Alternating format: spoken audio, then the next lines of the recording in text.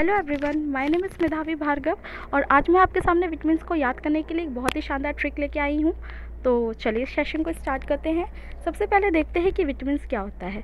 Vitamin एक प्रकार का ऑर्गेनिक कंपाउंड होता है, जो कि नेचुरल फ़ूड में पाया जाता है और हमारी बॉडी के ग्रोथ के लिए और मेंटेनेंस के लिए बहुत ही ज़्यादा रिक्वायर होता है।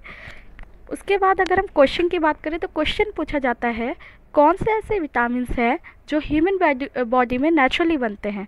तो इसका जवाब है विटामिन डी एंड विटामिन के अब हम टाइप्स ऑफ़ विटामिन की बात करें तो इसके दो टाइप्स होते हैं fat soluble water soluble fat soluble जो फैट में डिजोल्व हो water soluble which are dissolve in water fat soluble की ट्रिक है कीड़ा K stand for vitamin K E stand for vitamin E D stand for vitamin D and A stand for vitamin A water soluble में जो block letter से लिखा है that is B and C वो water soluble की trick है, चा भी।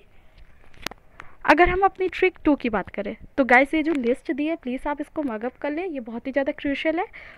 सबसे पहले विटामिन और उनके scientific name vitamin A C D E K इसकी ट्रिक है race to Nepal race to Nepal R for retinol, A for ascorbic acid, C for calciferol, E for tocopherol and for naphthaquinone. इसको आप दो तीन बार पढ़ेंगे इसकी आपको बहुत अच्छे तरीके से याद हो जाएगा race to Nepal I am repeating guys race to Nepal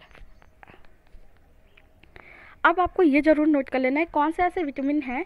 जैसे सपोज़ आपसे क्वेश्चन पूछ लिया जाएगा विटामिन बी फोर का आप साइंटिफिक नेम बताइए। तो आपको ये याद रखना है vitamin B four B eight B ten B B eleven ये विटामिन एग्जिस्ट नहीं करते, इनके कोई भी साइंटिफिक नाम भी नहीं है। तो आपको ये बहुत अच्छे से याद कर लेना है vitamin B four eight ten eleven ये एग्जिस्ट नहीं करते हैं। विटामिन बी वन ये आपको विटामिन दिया है और उसके साइंटिफिक नेम दिए हैं, ये भी आपको याद कर लेने हैं।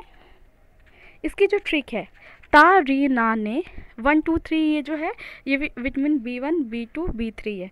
पा, पी, बाई, से five six seven vitamin B five B six B seven non foldable foldable B nine यानी फोलिक एसिड ट्वेल्व यानी कंबल बी ट्वेल्व कंबल खरीदे। ता, री, ना, ने, पा, पाई, बाई, से नॉन फोल्डेबल नाइन बारह कंबल खरीदे। ठीक? आपको सिंपली याद हो जाएगा, आप इसे दो तीन बार पढ़िए। तारी नाने वन टू थ्री पा, पाई, बाई से five six seven non foldable non foldable non को आप नाइन से याद कर सकते हैं। बारह कंबल खरीदे विटमिन बी ट्वेल्व कंबल खरीदे, यानी कोबोलिमिन